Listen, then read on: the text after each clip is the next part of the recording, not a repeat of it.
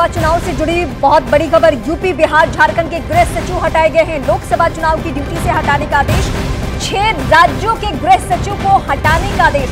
Election commission के कई officers को चुनावी ड्यूटी से हटाया गया है। चुनाव आयोग ने बंगाल के डीजीपी तक को हटा दिया है। इन सभी में सबसे बड़ी खबर यह है कि पश्चिम बंगाल के डीजीपी को हटा दिया गया है। बंगाल वो प्रदेश है जहाँ पे बहुत ही संवेदनशील इलाके हैं और वहाँ चुनाव कराना खतरे से खाली नहीं होता। नीरज हमारे सहयोगी हमारे साथ जुड़ चुके हैं। बंगाल के डीजीपी सहित कई राज्यों के गृह सचिव हटा दिए गए नीरज, ये बहुत बड़ा एक्शन है।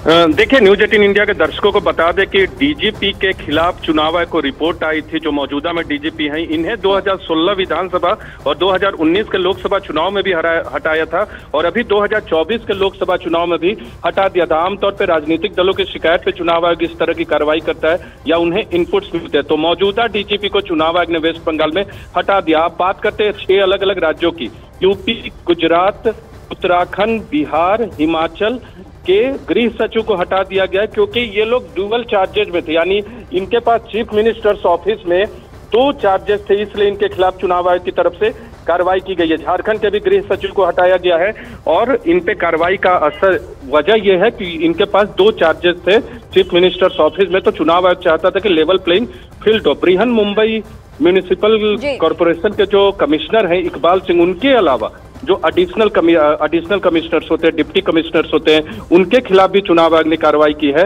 और उन्हें भी पदों से हटा दिया गया है। इन सबों के खिलाफ कुछ न कुछ जो नियम थे या किसी के खिलाफ शिकायत थी इसलिए इन सबों को हटाया गया जी तो शिकायत की बात हो गई लेकिन मुख्य चुनाव आयुक्त ने संकेत उसी दिन दे दिया था जिस दिन चुनाव की तारीखों का ऐलान हुआ। कोई भी ऑफिसर तीन साल से ज़्यादा अगर तबादला नहीं हुआ है तो बदल दीजिए उसे।